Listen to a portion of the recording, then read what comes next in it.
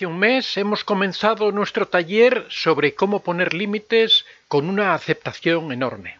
Este taller es parte de una serie formativa destinada a llegar a todas las personas y para eso hemos fijado su precio en solamente 10 euros.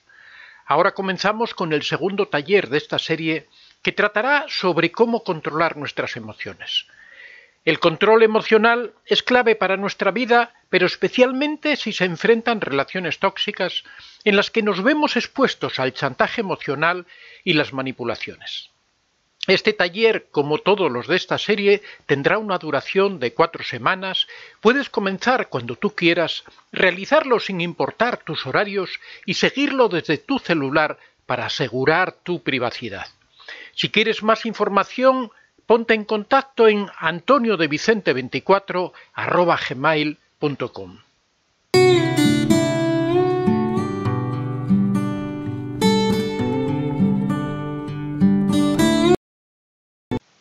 Cuando esa persona que amas desaparece, sin importar cuánto tiempo y qué grado de implicación tenga la relación, se dice que te está haciendo ghosting. Ese desaparecer sin explicaciones puede tener muchas razones ocultas. El anonimato que ofrecen las redes sociales favorece conductas que difícilmente se tendrían presencialmente como el ghosting. Es necesario armarse psicológicamente frente a este tipo de rupturas de pareja porque en ellas se refuerzan las inseguridades de quienes la sufren.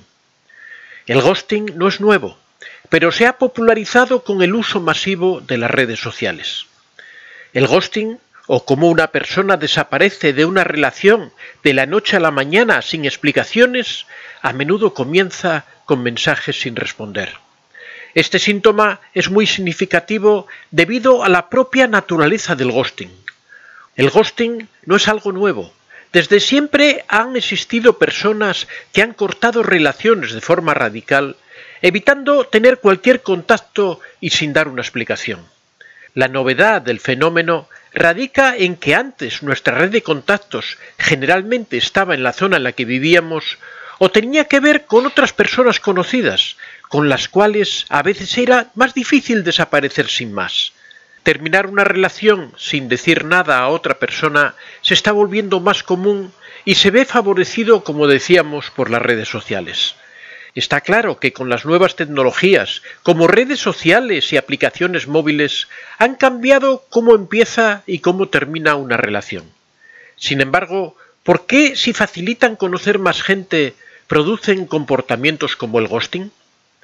Porque el anonimato que ofrecen las redes sociales favorece conductas que nunca se tendrían presencialmente. Internet y las redes sociales han provocado que las relaciones sean más líquidas, y esto cogido de la teoría de Bauman, desnaturaliza las relaciones y evidentemente dificulta la empatía al no tener a la persona delante. Con respecto a la relación entre las nuevas formas de comunicación y el ghosting, las redes sociales nos permiten relacionarnos con personas sin nada en común y fuera de nuestro círculo, a las que inicialmente de hecho solo nos une ese contacto en la red. Romper este hilo tan frágil es mucho más sencillo, ya que se resume en la opción de bloquear en redes. Algo que además aparentemente es mucho más sencillo de hacer que tener que enfrentar a alguien cara a cara si nos lo encontramos por casualidad. En cuanto a este origen del ghosting, las relaciones se han vuelto más líquidas con el uso de las aplicaciones de citas. Hemos dejado de conocer gente para empezar a consumir perfiles, agregamos y desagregamos personas como si se tratase de un carrito de la compra con derecho a devolución. Al perder el control personal e iniciar la relación de manera virtual, nos alejamos de la realidad y nos olvidamos que detrás de un perfil hay una persona con emociones, expectativas y sentimientos. Todo ello además nos hace tener la sensación de que tenemos un mercado de citas mucho más grande que antes y ya no solo se trata de la gente que podemos conocer en un bar o amigos de nuestros amigos. Las posibilidades parecen infinitas y con ello hay quien cae en la tendencia de estar siempre buscando algo mejor. Existe una premisa que es clave tener en cuenta desde el principio. Ser abandonados de cualquier manera ya sea presencial o virtual, activa los circuitos del dolor y hay que tener en cuenta que es algo fisiológico. Cuando alguien es abandonado por un ghosting, se refuerzan las inseguridades y ante esta situación podemos ofrecer las siguientes recomendaciones. En primer lugar, la prevención. Es necesario tener en cuenta de antemano cuáles son las reglas del juego y tener cierta prevención. Hay que ser consciente de que esto no puede pasar. En segundo lugar, no cuestionarse. El ghosting dice más de la otra persona que de nosotros mismos, por tanto es muy importante no cuestionarse a uno mismo, aunque de forma objetiva está bien pensar qué es lo que ha podido ir mal, pero sin obsesionarse por ello. En tercer lugar, el apoyo de terceros. Frente a este tipo de situaciones de abandono, es bueno contárselo a alguien cercano, algún amigo, algún familiar, de quien sepamos que podemos recibir apoyo. En cuarto lugar, la aceptación del duelo. Al principio lo negamos pensando que seguramente ha ocurrido algo, pero cuando ya escribes mensajes y ves que la otra persona no contesta, o no te devuelve las llamadas, o te deja en visto, al final hay que aceptar la situación y aceptar que nos va a doler. En quinto lugar, no volver a contactar. Es necesario entender y respetar la decisión de la otra persona. Aparte de estas pautas para conseguir abordar este tipo de situaciones que pueden generar malestar y un ánimo depresivo a cualquier edad, ya que el ghosting no está sujeto a ninguna edad en concreto, este tipo de conductas no deben practicarse ni por venganza ni como desnaturalización de la siguiente pareja. En cuanto a cómo abordar este tipo de situaciones, recuerda la importancia de desarrollar habilidades como la empatía y la comunicación.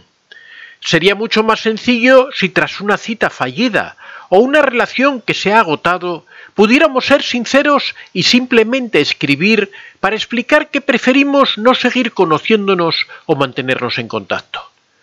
No se trata de que haya un problema con la otra persona, sino que dos personas no siempre conectan.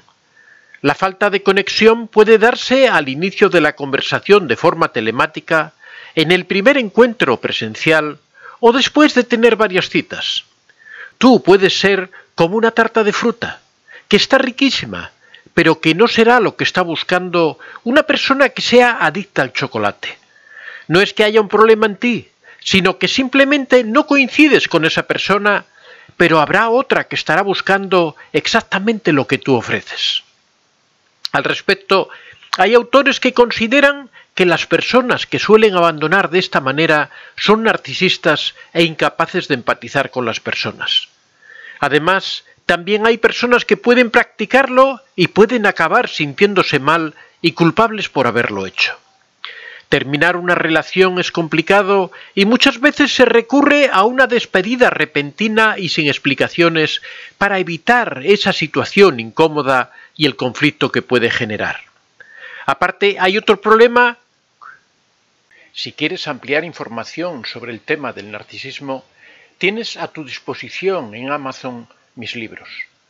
Cómo reconocer a un narcisista en donde damos una descripción precisa de este perfil, el contacto cero, que es la técnica definitiva para alejarse de un narcisista, la piedra gris, la polémica técnica para convivir con un narcisista, la madre narcisista y una explicación de las secuelas que dejan en sus hijos y que arrastran a lo largo de su vida, y la dependencia emocional, doloroso trauma muchas veces provocado por el narcisista.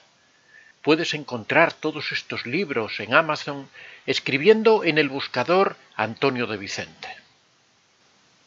Aparte hay otro problema. Como no se practica el dejar a alguien de forma presencial, se recurre al ghosting de manera que esta conducta continuada hace que tampoco se adquieran esas habilidades para afrontar estas situaciones y por tanto cada vez puede llevar a angustiar más a la persona. Y es que la falta de capacidades para gestionar una ruptura, unido al uso de las nuevas tecnologías para iniciar relaciones, favorece que se repitan estas conductas de ghosting. El problema es que precisamente por la gran oferta que nos ofrecen las redes sociales, acabamos acumulando gran cantidad de citas y de situaciones incómodas, desengaños etcétera, que acaban por afectar nuestra autoestima. Quizá también parte del problema es que este tipo de aplicaciones nos han hecho caer en la idea de que la persona perfecta depende de un perfil como que tengamos las mismas aficiones o un físico determinado, y muchas veces la química que surge entre dos personas tiene más que ver con formas que no pueden configurarse en un perfil virtual. En conclusión, para paliar los efectos del ghosting, es necesario que la persona que lleva a cabo estas actitudes tenga en cuenta que tras la pantalla hay una persona que puede sentirse mal, no tanto por el rechazo, sino por la ausencia de explicaciones. Mientras que la otra parte tiene que trabajar el hecho de que actualmente el mundo de las citas ha cambiado, estas cosas pueden ocurrir y no se debe tomar como una cuestión personal. Soy Antonio de Vicente. Si te ha gustado este vídeo, puedes dar a like y si aún no estás suscrito, puedes hacerlo en la parte inferior. Si deseas hacer algún comentario o sugerir algún tema, puedes hacerlo en la casilla de los comentarios. Recuerda que este es un espacio abierto y que siempre son muy bien recibidos todas las experiencias que hayas tenido y todas las opiniones que tengas al respecto. Estaría encantado de que las compartieras con nosotros. Muchas gracias a todos y que seáis realmente muy felices.